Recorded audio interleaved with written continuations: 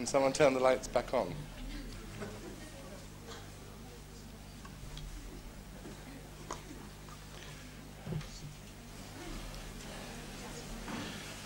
Okay, um, try and start.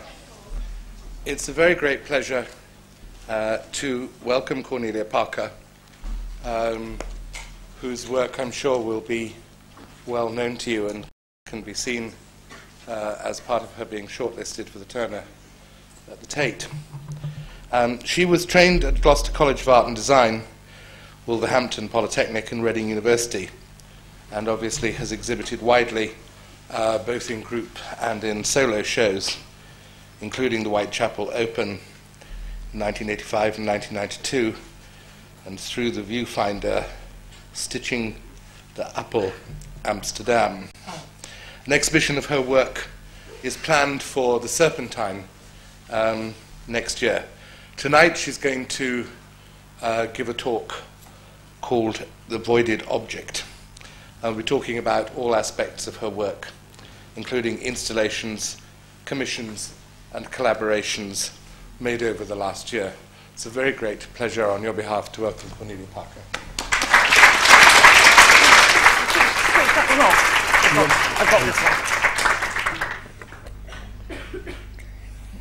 Can everybody hear me through this mic? Yeah. Um, can we have the lights off? Uh, um, it's not going to be work made over the last year, it's going to be work made over the last 10, 12 years. um, so, um, the, yeah, the slides I'm going to show you are from work from 1985 onwards. Um, and you know, I, as, I, as you realise, I didn't go to a London college, so um, you know, me moving to London was quite a big thing. Um, this, this happened in, 19, in 1984, um, after I'd spent a summer in New York. Um, I moved to London and I decided not to work in a studio. Decided to, for financial reasons, I decided to work at home. And the, the house that you see on the slide is where I made work for several years. Um, at the time I started to make work in the house, it was a very temporary accommodation. The M11 link road was going to come through the street and you know, all the houses are going to be demolished. Um, the, the actual road didn't come through until um, about three years ago. It's when I left this area. Um, this was my bedroom at the time, and I decided to make work, as I said, um, at home, just because I, I've been going to the studio every day, um, you know, a sort of four white walls and a concrete floor, um, and then going home in the evening. It just didn't seem like the work related to my, you know, to my everyday life. And so when I came back from New York, I had this amazing experience, and I was just thinking how I could possibly encapsulate this experience. Um, on my travels over the years, I'd collected uh, architectural souvenirs um, from uh, famous monuments. Um, and these are the sort of thing I'd have in my bedroom. Um, mostly the nearest thing you get to sculpture in the home, you know, in terms of uh, people might have them on the top of their um, TV or mantelpiece. And so I decided to use the Empire State Building, this little crude kind of cipher of a famous monument as, as the beginning for a piece of work. So I made um, a mould off the um, souvenir, which was already like an abstraction, and mass produced it from, in lead and made the leads into, into plumb lines. So it was like the, the beginnings of, of like a building. Um, next slide. Oh, sorry, I'll, I'll do the slides. um, when I was making these crude casts, um, because in my first half of my degree I, I was doing painting, I missed all the induction courses that you would have for sculpture, so I didn't learn how to, to cast or to weld or you know, to carve or to do any of those kind of things. And um, so I taught myself how to cast um, the way you'd cast tin soldiers. Um, so I was doing it on my kitchen stove, you know, with a frying pan with lead in it. And, and making quite a mess, and lead was falling on the floor. And I decided I wanted to make the splashes of lead into images too, so these became images of a ship, which was another, a tin ship, another thing that I'd bought as a souvenir. So this piece was called um, Falling Towers and Sinking Ships. And this was a turning point in the, in the work. Before I was making very ephemeral things, um, using all kinds of ephemeral materials. But I really enjoyed the idea of using lead, the sort of most densest metal, to make something that's quite ephemeral. Um, as, as, when I lived in this house, other people moved into the house.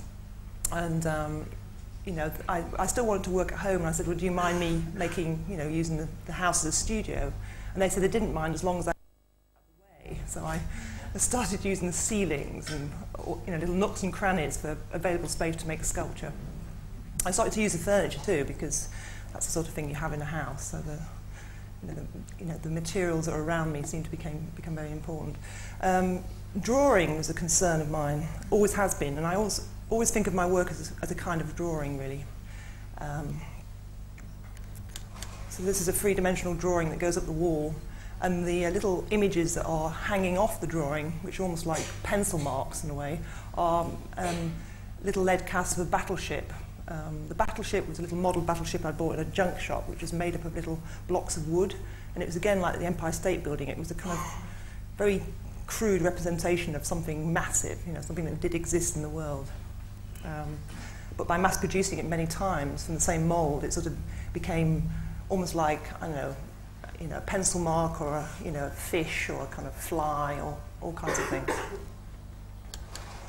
Um, on the table, which I you know, cut and drew on, um, the table be also became a, a drawing, um, I placed the original battleship.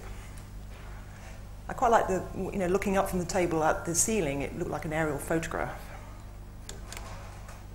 Um, this piece was sort of quite an important piece for me because it encapsulates this idea of the monument, the idea of the monument being a fleeting thing. This piece was called Fleeting Monument. I like the idea of something that's supposed to last forever being something that could evaporate or be spilt or, you know, kind of break into a thousand pieces. Um, this is Big Ben, another thing, very cliched souvenirs. And around the edge is the, the, the Big Ben is beginning to break up because the mold began to break up. Um, um, yeah, I've, I've sort of filled up the house, and I was looking for, you know, as I say, any nook and cranny that I could, you know, sort of make my own. This was my bath water that um, um, and the, the, the gutter was blocked up by some more of these monuments. Um, this piece was called Drown Monuments. Um, and I had these old encyclopedias, which I've had since childhood, which are very old, you know, I think they're 1930s. And in that, those encyclopedias, they use famous buildings to measure the unmeasurable. You know, they use St. Paul's Cathedral to measure Everest. You know, they use, you know, sort of uh, Sagrada Familia to, to, to measure the smallest planet beside. And so this was me measuring how deep my bathwater was.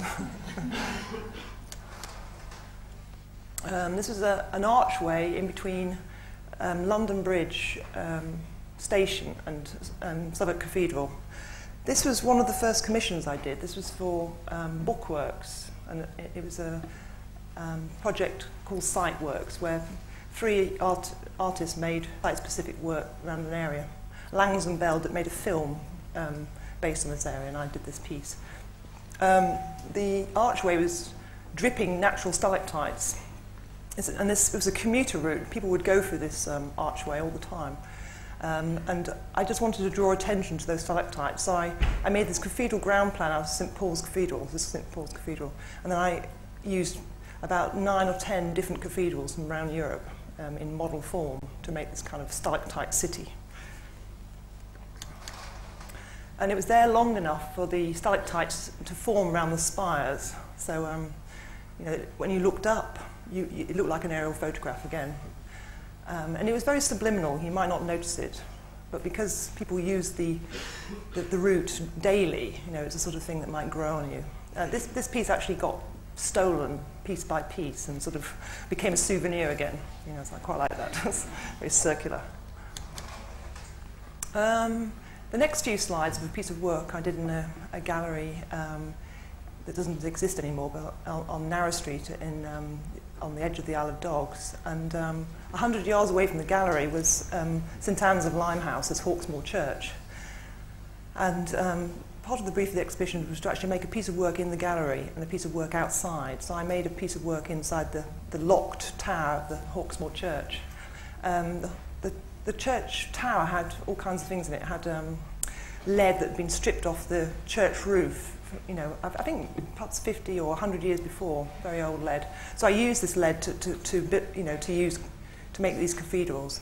This is the last time I used you know, this cathedral image in, in my work. This is on the bell, which was encrusted with pigeon shit. Um, mean, the whole place was very run down. It's been refurbished since then. Um, and I like the way that the um, pigeons shat on everything and, and very quickly made it into stalagmites. This is underneath the bell, which is like mountains of pigeon shit. And uh, I placed cathedrals on the top of these mountains. Again, it was like an aerial photograph. It looked like you know some, a city after being bombed. Um, and, I, and I thought I didn't really want people tramping around the tower trying to find these things. So I decided the only way that people could see the work was through photography. You know, and that would be exhibited in the gallery opposite. And you could look at the locked tower out of the gallery window and read the photographs and imagine you're in that kind of space. So it's about a private space Um, this is the first time I use silver in my work, um, which I'm still, still using and I'm still very much drawn to it as a material.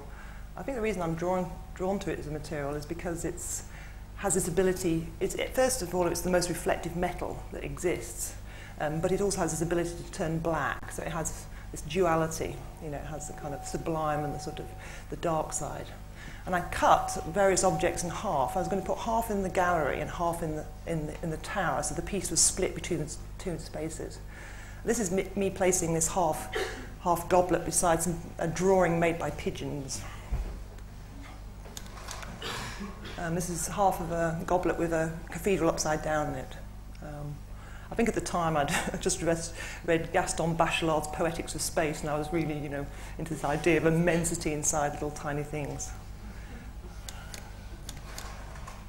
Um, this is not a very good slide. This is uh, the work coming in through the gallery window uh, in the form of cathedrals and going out again immediately.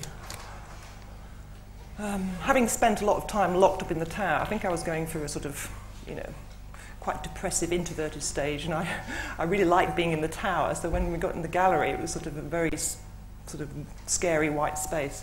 So the work just went in and out of the walls as if, you know, that wasn't the place it might reside. It might be in the house down the street, or it might be in the laundrette, or I mean, I think the whole idea of sculpture for me was the idea of it being a porous thing, something that wasn't a monumental thing, it wasn't a giant lump in the middle of the space, it was something that was molecular and that was porous and that, that could go anywhere. And this is, I think, what this piece turned out to be about.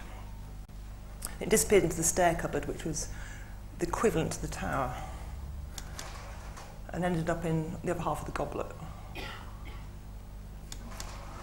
Um, I did a little residency in the Forest of Dean, um, and I did various works there, and this was a work which is me, required me to put back leaves on the trees. um, so I, all these dead trees where you know that they just died and there's no foliage anymore, I, I just replaced the um, leaves with um, lead facsimiles, which were poisonous, you know. Um, so they, they mimic the bracket fungi on the sort of withered stump behind. And I think it's quite nice because people walking through the forest might imagine it to be a natural object, but it's just not, it's out of sync, it's not in the right place. Um, in, the, in the Forest of Dean, I met a steamroller driver. and and uh, it's this set, you know, a train of thought going. I was making a piece of work, a large installation for the Ikon Gallery in Birmingham, and um, the silver, you know, the fascination with silver was growing. And I, I, I like the whole idea of um, cartoon death. You know, in cartoons, you get Roadrunner run over by a steamroller, and he's flat for a couple of seconds, and he pings up again. It's like a symbolic death. It's not a real death. It's a sort of um, just a state he goes through. Um, and I, I like this idea of killing things off, the idea of eroding the monument. And in this case, the monuments were actually personal artifacts. They were, um, you know, souvenirs, or they were wedding presents, or they were uh, things you got for christenings, or they were, you know, you know, treasured objects. But uh, you know, and all this stuff was silver plate. It wasn't solid silver or anything. It was just, you know, cheap, kind of had a most superficial layer of silver. Um, but still, you know, it, was, it, it, it had meaning. And I wanted to give all the objects the same destiny, the same fate. So on this lonely road, you know, in Chorleywood, this steamroller went over and crushed the lot and killed them. Um, and then I resurrected them in the gallery. Um, could you focus that? Or shall I focus it? Um, this is at the Ikon Gallery in Birmingham. This is um, the, into 30 pieces. I called it 30 Pieces of Silver. I think I thought the title was a kind of very portentous sort of title from the Bible about the, the biggest betrayal. Um, you know, the 30 pieces of silver that was, Judas was paid to betray Christ. Um, and then the steamroller, you know, running over the objects, which was like a kind of tragicomic, you know, triptych with the title, the process, and then the work in between. Um, what, was, what I liked about this piece, that um, this is when it was in the Hayward Gallery in 1990 as part of the British Art Show, was this show was on long enough for it, it to start tarnishing. You know, I think it was on for about six weeks, and you know, it started to go brown. And if, it's, if it sort of was hung permanently, it would just go completely black, and that would be a fantastic thing, I think. You might not even know it was silver. Um, after doing a piece called 30 Pieces of Silver, um, I decided another monument was money.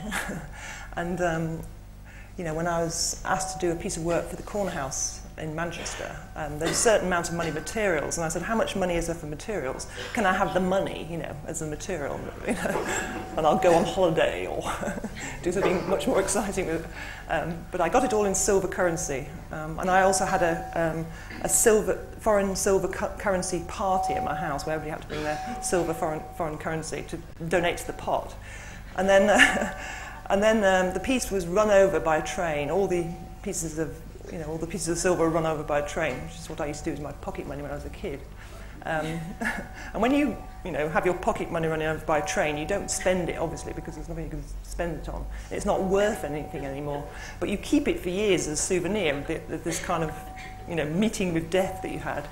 Um, so so um, by eroding the worth of the money by having it run over in this cartoon way, you know, like the, the steamroller, um, I resurrected it again by suspending it um, in the form of two figures.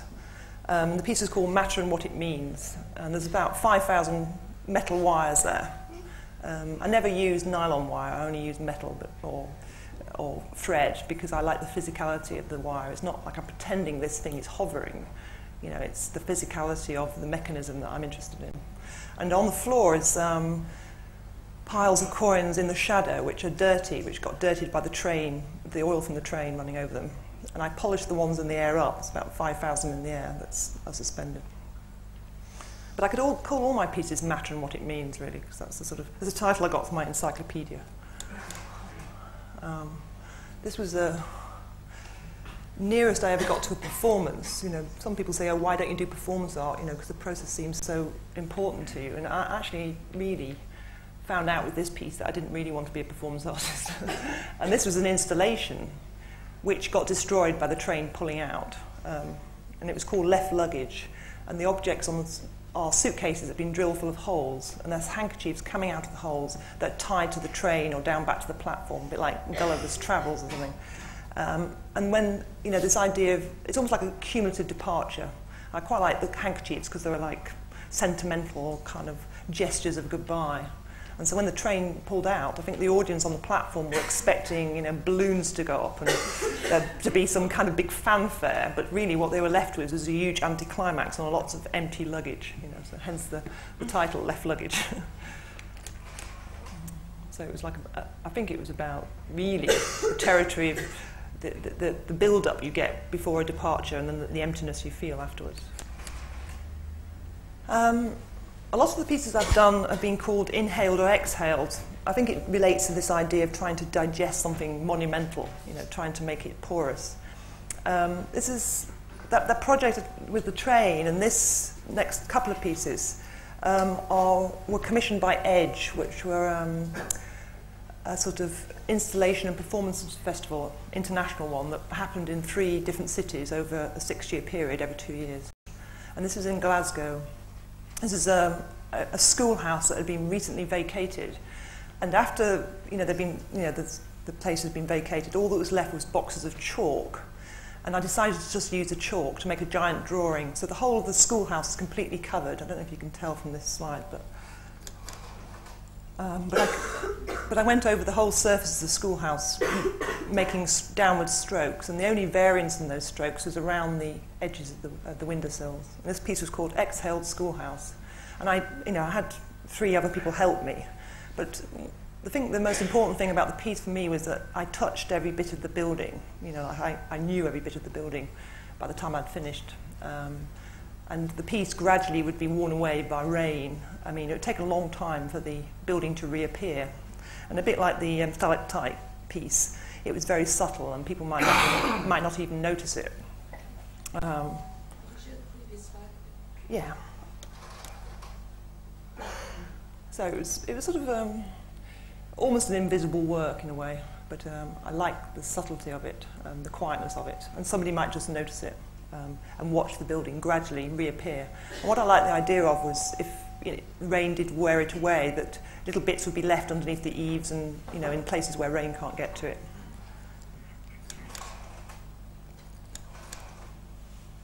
Um, this piece was called Inhale Roof, and this was another piece for Edge. And this was in an attic room in Newcastle, uh, underneath a copper dome. And this was the, the kind of section underneath the dome which I lined with copper foil. So it was almost like wallpapering the room with copper.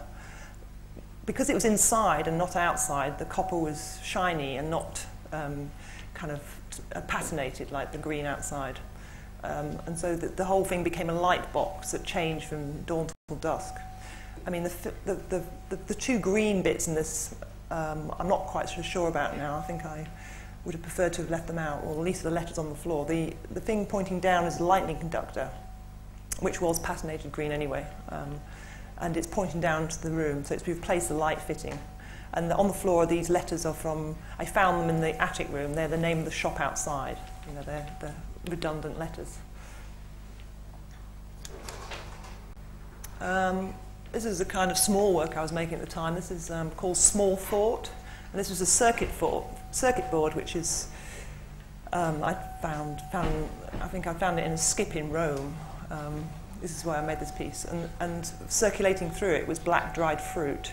And I quite like the, the contrary energies of the circuit board that's a kind of almost like a rational system and this more emotional stuff which was stickily sort of ploughing its way through it. Um, this was a piece I did for Chisenhale Gallery um, in the East End of London. Um, and this this, and this was another monument, really. This is a very domestic monument. This is a garden shed full of objects you normally find in a garden shed. You know, tools, overspill from the house. Um, and in the shed is a light bulb. And this is a photograph of the piece in the gallery before the exhibition. Um, and then the garden shed was subjected to another cartoon death, which was to be blown up um, by the British Army, um, which was Um, I knew I wanted to blow the shed up, but I, I, I thought about who I'd want to blow it up for me because I obviously couldn't do it myself. And, and I didn't want demolition people, I didn't want special effects people. You know, it, it felt like it needed to be another institution. And the idea of working with somebody like the army, which was just after the Gulf War, so um, you know they were very unpopular, and the idea of you, you know, working with someone who is contrary to, what to the life I was leading was, became very appealing. Um, so that whole experience of doing this piece was, for me, fantastic. Um, the piece was called Cold Dark Matter and Exploded View. Um, and the resulting piece was the fragments of the garden shed re reassembled in the gallery in the same place where the original photograph was taken, um, suspended around the same light bulb um, in a very formal way. Um, it might not look very formal from this photograph because the shadows break it up, but the small objects that are surrounding the light bulb and then the, the medium objects and then the, the bigger pieces of wood on the outside. So the whole, whole thing looked like it could be imploding or exploding. And the title, as I said, was Cold Dark Matter and Exploded View. And the time I was making this piece of work, um, cold dark matter was a word that was bandied around in the press as a new kind of scientific term to describe matter in the universe that was unquantifiable, the stuff that you knew existed but was immeasurable, and you couldn't see it. Um, and an exploded view is a diagram, you know, the way in car manuals that the engine of the car is laid out in various parts so you can see you know, how the engine works. So the whole idea of trying to quantify something that was unquantifiable, um, the way I was doing with the monuments before, measuring my bathwater, it was a very similar kind of process. Um, this is members of the army helping me pick, pick up the pieces.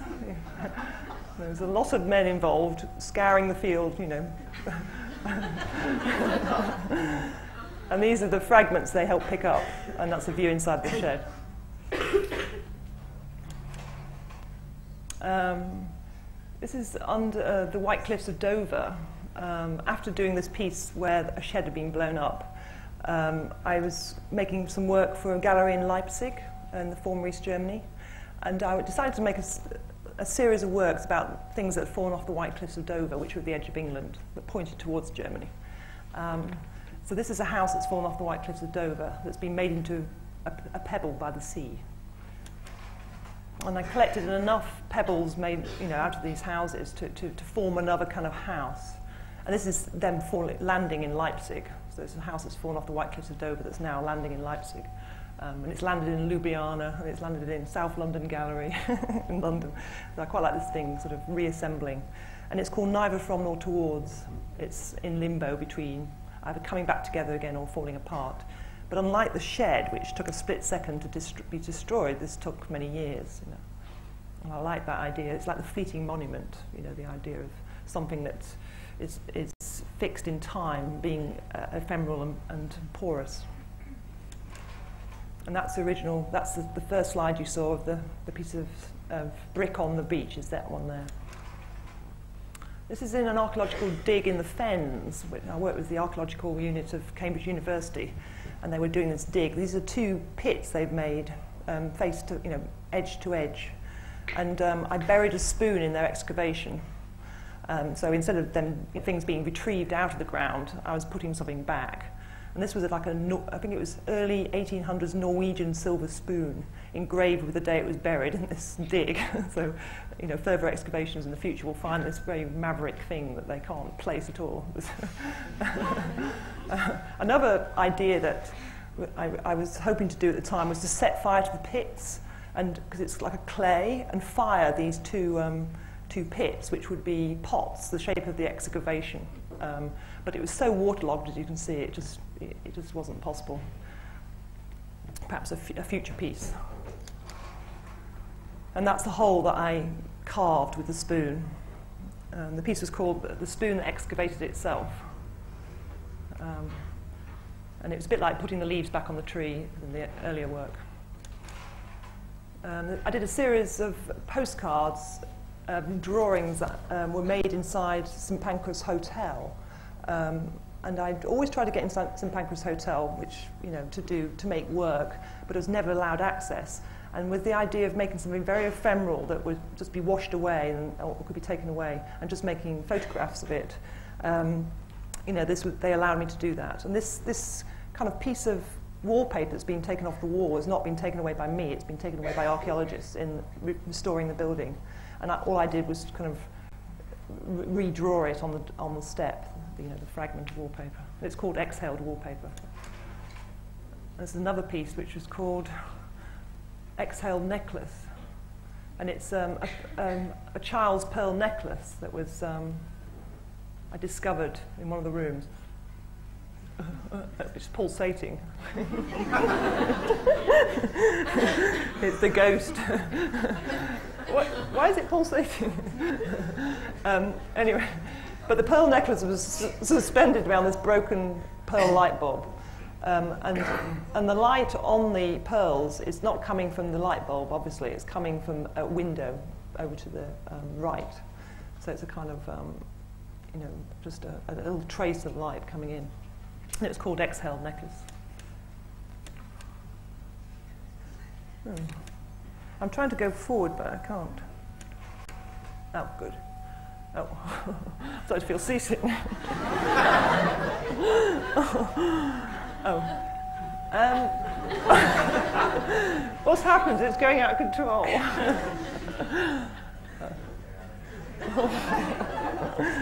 Don't look at it. oh, God. Is it me? Is everybody seeing this? Or um, anyway, this was um, one of the Whitechapel Opens that was mentioned in the brief um, uh, sort of introduction. Um, this is Spitalfields Market before it became the, market it is now. Um, it was, used to be a fruit and vegetable market and a flower market.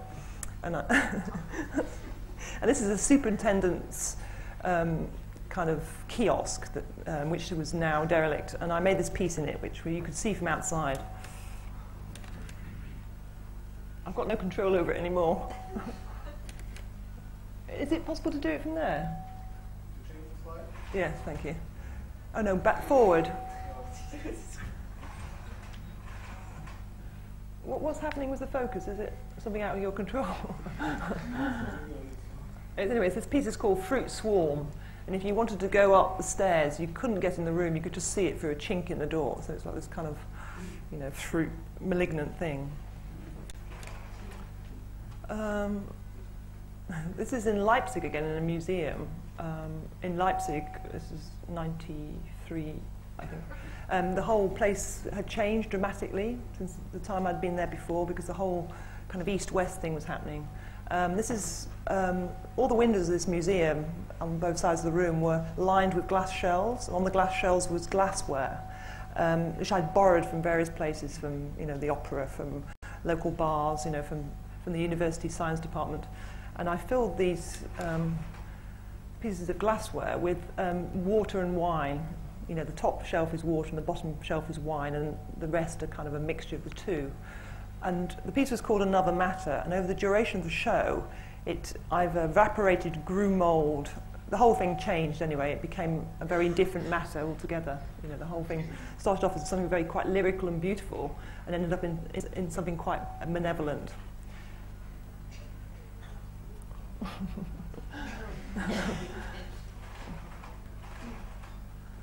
um, this is a piece that I did um, in the Sao Paulo Biennale in um, 1994, um, which is called an, Another Matter Again. This is a coffin, which I thought was another kind of monument to a road. You know, it's again like the Empire State Building. People all over the world know what this this image means. You know, it's a kind of cliche. Um, and I decided I wanted to unpick, you know, you know, to, to break it apart. So I used a hammer and chisel um, and splintered the coffin. And then I took the, um, the little pieces to a match factory. Um, could I have the next slide, please? And, and dipped it in match material. Um, so the, each little piece of wood had its own potential life and death. You know, so it was almost like, instead of the, the coffin being about this finite, dark thing, um, it became about potential. Those are the coffin handles. It's, it's very weird trying to buy a coffin in um, Sao Paulo, um, you know, especially when most of them were made out of either chipboard or ply, uh, plywood or tin, you know, with wood grain on them. So finding a solid coffin was quite difficult. Um, this, this piece, I'm, I'm sure you heard about, this was a collaboration that I did with Tilda Swinton at the Serpentine Gallery a couple of years ago. Um, Tilda approached me to, to make a piece of work with her. Um, she wanted to do a piece where she slept um, as a kind of Snow White type mythological figure um, in limbo. And my role you know, in the collaboration was to, to give her another kind of frame, as it were, another context. Um, so she slept in the end as herself um, because you know, she most probably was inherently more interesting than being a fictional character, than being, being herself. And, and she was surrounded by other glass cases in the four rooms, which contained uh, relics from people who were no longer living. Um, all the belongings that were there could have been belonged to one person. There were sort of shoes and gloves and, and stockings. And, and this was a, um, a blanket and a pillow, which in the show was laid out. You know, was a pillow at one end and the blanket. And this was off Freud's couch. Um, next slide, please. And this is Napoleon's rosary. Um, it's funny about Napoleon, I never really thought about him having a religious life. Um, next slide. Um, these were the Scott of the Antarctica's last provisions that were found in his tent with him. So there were things that he couldn't digest. There was um, salt, tea, curry powder, all kinds of you know materials that he couldn't actually ingest.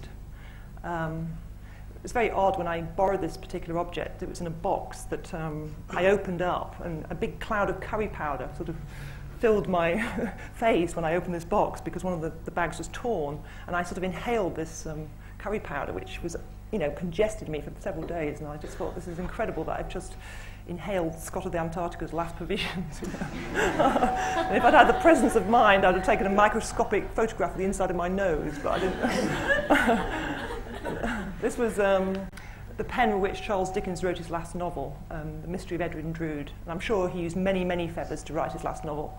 And he must have got through thousands of feathers through his lifetime, but this, this feather was obviously saved because it was his, and you know, perhaps at the moment of his death, a memento was kept. Um, this was um, the camera which belonged to Lee Miller, who was um, a famous war photographer and the muse of Man Ray. Um, and this camera took photographs of Vogue models and um, you know, Dachau. She was one of the first people to go into Dachau. So it had this kind of real malign and benign thing going on with the camera. Um, this was the only bit of body I had in the show other than Tilda, which was a piece, it was um, Babbage's brain, the man who was responsible for the origins of the computer. He's got a lot to answer for. and this was put in the same glass case as Faraday's spark apparatus, you know, the founder of electricity. So this was almost like a Frankenstein monster at the end of the show. But a few of the objects were paired up, so there was kind of cross-pollination of ideas going. They were reanimated by the, the juxtaposition. And next slide, please. This is Queen Victoria's stocking um, with her crest. And th this was placed next to the next slide. Next slide, please. Um, Wesley, Wesley, the founder of Methodism, Spurs, um, and neither of them were thought of as having a sex life almost, so it was almost like a kind of weird. Um, there was a hole in her stocking which had been darned, which possibly could have been made by Wesley Spurs. Um, this is Florence Nightingale's slate. Um, I went to the Florence Nightingale Muse Museum and there was all kinds of things on offer, like lanterns of hers, which I thought of having. But this was, for me, the most interesting object because it was like a tabula rasa. It was like a blank slate. And her childish handwriting at the top of the frame was, was made before she became famous. She actually became famous for only a year in her life, really, when she did this, this thing about nursing. And, you know, that, you know, somehow it was a very weird, this is like a premonition. Um, this was the only object in the show, can you focus that? Um, only object in the show which um, nobody really knew what it was. I mean, I think everybody knew the stories behind, there's all kinds of layers of fame going on. But this was called Sadie's Drawing, and it's actually made by a cat jumping in and out of a window. Um, and the, the owners this cat, who died tragically, framed up this piece of card which they'd used to protect the wallpaper from the cat scratches and, and made it into a kind of drawing because, you know, it's a sentimental object, it's a kind of memento, a souvenir of the cat. so um, that was very poignant. Um, the, the last few slides are of um, a, a new series of work which is called Avoided Object. And this was my first attempt to send a meteorite back into space. Uh, this was in uh, Tivoli Gardens in um, Copenhagen last year. Um, I was asked to make a piece of work for any specified site in, in uh, Copenhagen. And um, I went to Tivoli Gardens and they have a twice weekly firework display. So I um, worked with the firework maker who makes the fireworks at Tivoli Gardens, Lars Barford. And um, I bought a, quite a large meteorite and ground it up into tiny pieces and put a piece of metal meteorite in all the fireworks that went up in the air over a four-month period in Tivoli Gardens. So it was like a kind of four-month-long meteorite shower because, because the, the iron in the meteorite actually ignites and is expressed as light. So it was a kind of, you know, sending it back up and letting it come down again. this is another piece which is called um, Meteorite Landing in Epping Forest, um, which just exists as a photograph. This is um, a firework I had made that was completely made out of meteorite. So what you're looking at is meteoric light. So it's, it is the light from the meteorite that you're seeing. Um, this is a shirt that's been burnt by a meteorite. um, the burn has been made by me heating up the meteorite on the kitchen, you know, on the stove and applying it to the back of the shirt as an instrument of torture. Um, this is um, called One Day This Glass Will Break, and I think it's you know, reasonably self-explanatory. Um, the whole thing about the avoided objects series, which some of the work is in the Tate at the moment, is the idea of they're very small things. They're almost like drawings, and they're, they're things that either have not yet got a life, like this, which is embryo firearms. These are Colt 45 guns in the earliest stage of production. This is, you know, if, they, if anything more happens to these blank pieces of metal, which I got from the Colt manufacturers, you know, they become guns. You know, they, any more drill holes, any bits attached. So this is the last time I could take them as, as kind of non-guns. And um, I asked them to polish them, to finish, give them the finish that they would give the, the finished guns. So they were finished at this point. Um, so, so the voided object was about the kind of things that had not yet become objects, or the, the fallout of making objects, or the things you avoid perhaps psychologically. Um, next slide, please. This is um, a suit shot by a pearl necklace. Um, so the holes in the suit, next slide please, um, are made by pearls, not by um, bullets. So um, the Colt firearms um, engineers helped me fire things through guns that were not bullets. So to replace the shot or the bullet, you know, the, the pearls were placed.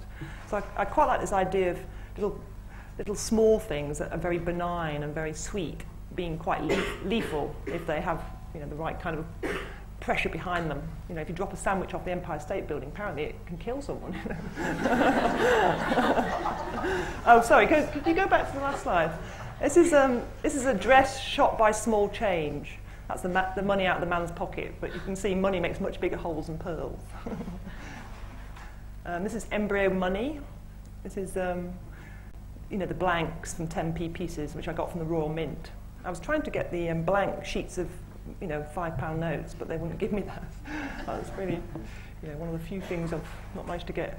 This is the negative of words, which is the residue that's engraved from silver, you know, to make, when you go to have something engraved on, on something silver, it's usually a monumental thing that you, you engrave, you know, somebody's name or a kind of anniversary. And I've been going to this engraver for years, having things engraved, and I asked him to save all the little kind of tendrils of silver that he excavates. So he does all this by hand. It had taken many years to build up a sizable pile. And I really like this idea that these, this, this fallout from the negative of words, you know, that this inverse of the monument might be what it might be, what it might sound like. The next slide. These are pornographic drawings, um, called pornographic drawings because the, the substance with which they were made were, was pornographic once, and perhaps is again, I'm not sure. Because um, these are Rorschach blots, it's up to the you know, the person who's looking at them to determine whether they're pornographic or not. But I, made, I, I worked with the Customs and Excise um, in Cardiff last year when I was doing a show called The Avoided Object in, in Chapter. And um, I asked them to give, give me things that they'd killed off the thing I like about the customs and excise is in the press, you see them visibly killing things off, you know, steamrolling Rolexes, you know, smashing up bottles of perfume, setting fire to big mountains of cocaine and, you know, sort of marijuana, and, and, and they have to be visibly seen to be getting rid of things. And I like this cartoon quality of that, so um, I spent some time with them. And they gave me, the first thing they would give me um, was chopped up pornography, um, videotape, which I originally thought I might try and edit back together, but it was far too, it was far too mangled to do. So I made an ink out of it and made these Rorschach blots. Um, this is um, a pair of bed sheets that have been starched with the White Cliffs of Dover, um, chalk from the White Cliffs of Dover. When I was working with Customs and Excise, they told me they'd smuggle things through customs, which, you know, like um, cocaine. People would starch their clothing with cocaine and walk through customs. You know, they were, the way they were talking about objects was fantastic. They would pick up a glass of water, you know, Michael Craig Martin, eat your heart out, and say, what space within this object is there a, is there a place for concealment? you know, so they were always looking at every object in terms of the space within it that's hidden, that you can hide something. So people, you know, would hide things in their hair or in their clothing or in, inside their body or you know mold whole suitcases out of cocaine. And so I got the idea for doing this piece from them. um, this is a, an object I threw off the White Cliffs of Dover a few years before, um, and which has not been polished the day it was, was, it was thrown off. Next slide, please. This is called 20 Years of Tarnish. Um, what's on show here is the tarnish rather than the objects, although the, the objects happen to be wedding presents helps you read the, the meaning of the tarnish. Next slide, please. um, this is the grooves in the record that belonged to Hitler. This is um, um, um, a piece, you know, just a vinyl record that I took a microscopic photograph of the grooves, um, which I liked very much as a kind of image. You know, it looked like this aerial photography that, you know, thing that I was obsessed with. And, you know, I quite like this, this, this thing looking very benign and innocent, and somehow the, the scratches and the marks that were made on it were made perhaps, you know, while Hitler was listening to it. Um, after borrowing the Freud's blanket and pillow off his couch, I'm, you know, built up a relationship with the director of the Freud Museum, Erica Davies, who's very kind of open to artists working there. So I asked her if I could take feathers out of the pillow, uh, Freud's pillow off his couch, which has heard as much as Freud has, you know, little innocent things have heard as, as much as all the literature that's ever been written about Freud or he's generated. You know, these, these things are silent witnesses of that. So I took this I took this feather and I put it in a glass slide and I projected it along the wall. So it became like an anamorphic sort of object. Um, and it became more like a missile, something that shot through a gun or you know, an arrow. And I quite like this. It's called, proje called projection because that's literally what it is. And next slide, please. And this is another piece, which was the dust out of the couch, dust and fibres from the couch, which projected along the wall looked like an explosion. Next slide. Um, that's, that's a kind of close-up, you know, and this is, you know, huge projection, so you and there's skin cells and hair follicles and all kinds of stuff in there. Um, and this is a piece that's in the Tate at the moment, which is, I've just been in Texas um, for a few months, and um, I, I had a, a residency at this art foundation there. And one of the cartoon deaths that I was, I'm still working my way through was an act of God. Um, so I was hoping in Texas to find something struck by lightning. And so the second day I was in Texas, I, I found a man who um, designs lightning protection for buildings and asked him if he could help me find things struck by lightning. And two days later, he phoned me up and told me a Baptist church had been struck by lightning. so I couldn't believe my luck, so I drove down there. and asked the Baptist minister if I could have the charcoal to make a, a, a drawing. And he said, yeah, you know, as long as you don't barbecue on it, he said. and I asked him if, what he thought about the, you know, the idea of his church being struck by lightning. You know, what did that mean in terms of God? You know, he said, well, God wants us to have a better church. um, so this, this piece carries on with a series of the house that fell off a cliff, the shed that's been blown up you know, the, the money that's been run over. Um, the, the, the suit has been shot, and so this is another kind of destructive act that I've resurrected the object and made it into a very formal drawing, you know, because it is charcoal. Um, and this is the last slide, you'd be glad to know.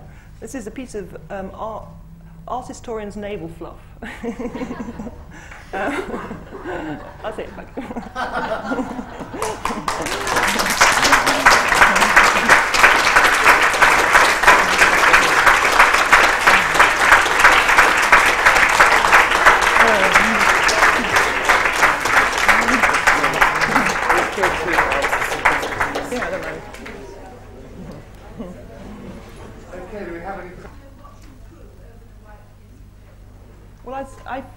silverware. oh, that on the slide, it's a teapot. It's a teapot.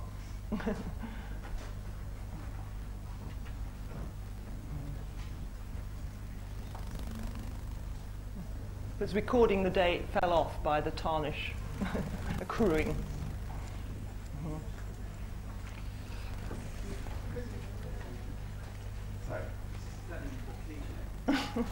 oh, goody, goody. so something I want to know, something I really want to know, what control did you have over the show of the Tate? What control? Um, I had quite a lot of control, really. I mean, the show that's on at the Tate is the show I wanted to put on. Um, you know, there was, you know, every effort was made by the Tate for me to have the show I wanted. So the formality of it is mine. You know, the, the kind of d- deliberate formality of it is um, what I wanted. Why did you ask that question? Because I, for those of you who haven't seen the show, this is a, a show of four artists for the Turner Prize, of which Connie is one. um, and uh, I, I, find, I found the whole, the whole, obviously when you go there, you, you see it as a total, Sure. as a totality. I mean, Yeah. you are part, you are a quarter Yeah. of the whole. yeah. And I found it, um, the whole experience incredibly curated, curated and I right. felt there was a big, I thought there was lots of navel fluff. Right. and, uh, and of course it's interesting because a lot of the things that you do contain addenda, you know, they contain extra proposals yeah. direction. And then I became incredibly confused about who was telling me what Right where it was coming from. And I almost I think. yeah. Yeah. No, I think everybody curated their own bit of the show, and Virginia Button, who's the curator of the Turner Prize, went round on the last day or something and, and just tweaked it with us. But it, you know, it's very much up to us to present. Like Angela made Angela Bulloch. I think she made a whole new show, and they didn't know what she was going to make at all. So, so uh, I think they gave us a lot of leeway, really. Isn't that interesting that I, that I felt that the sort of, I thought I could smell the institution. Right. Oh, but was it because it's in an institution? And I think that most probably might have alter, you know, might have changed the way we might have presented our work with that in mind, because it is site specific after all. you know, so. Uh, but I, I, you know, the way I, the show looked was the way I chose to have it look. You know, um, which is usually all, always the case. You know, I don't think there's been many shows that I've done that haven't looked the way, you know, I, I you know, I've never been over curated really.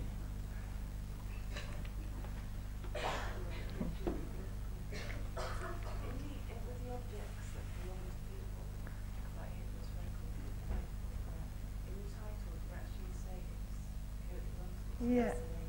Yeah, the, the, all the, you know, the avoided objects, the title have become almost, you know, they're almost like a diptych. So it will say grooves in a record that belonged to Hitler.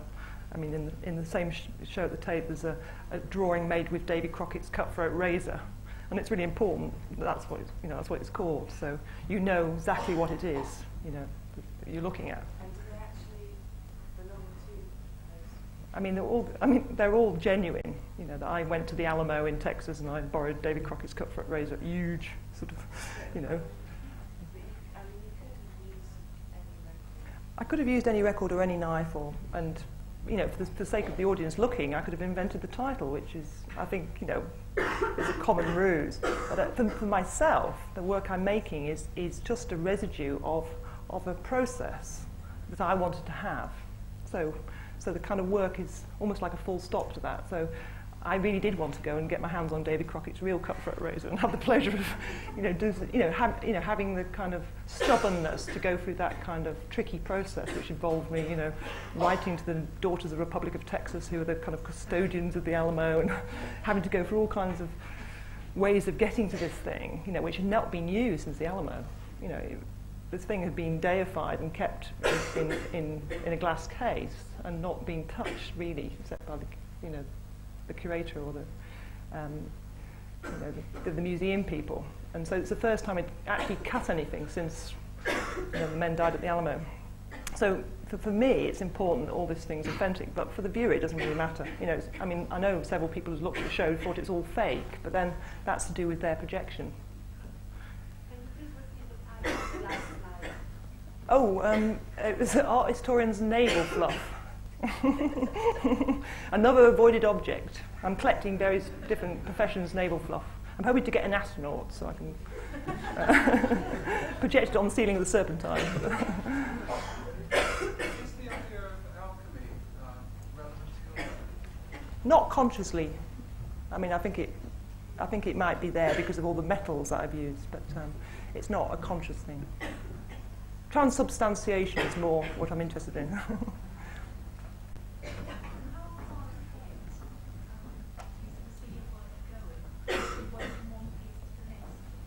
I mean, I've got always a surplus of ideas that I perhaps may or may never do, you know, because they're too too hard to do in a way. And so, and sometimes they wait around for years until they get done. And then other times a whole new idea appears and those ideas get pushed out of the way. So I think it's just a very organic thing. It's not something I plan. You know, the things fall into place as I kind of work on them. You know, but I don't, I'm, I'm not. I'm, I'm very intuitive the way I work, and I don't really pre-plan things. Hello? About colour. Well, I think there's quite a lot of colourful work there. You know, the fruit piece was very colourful. Well, yeah, I think that's quite monochrome. I, I think actually I'm just inter- interested in materials. And if that has an inherent colour, then that's, you know, that's fine.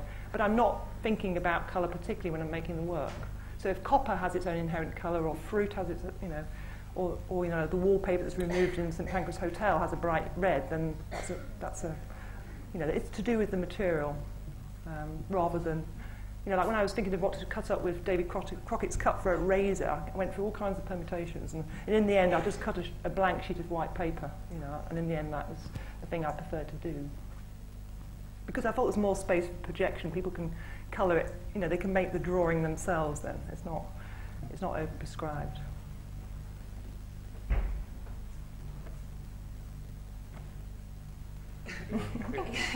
yes, Julia? Yes. Uh, did you really put your pocket money under the train? Yeah. Don't other people do that? I mean, I thought it was quite a common thing. Really. and I had a terrible phobia of trains as well. I'm sure it's all very Freudian. I mean, I hadn't heard that from you, which, which was a wonderful surprise because I can see that linking, that kind of attitude to something that could, by many, be precious. Well, children are very destructive beasts, aren't they? I mean, they're always um, Yes, destroying things. Still, you still have that thread back to the work. That's what's really. Yeah, I'm trying, I'm trying to repair the damage. well, you know, tempting to repair the damage. Okay, with that, I think we should end on your behalf. Mm-hmm. I'd like to thank Cornelia very much.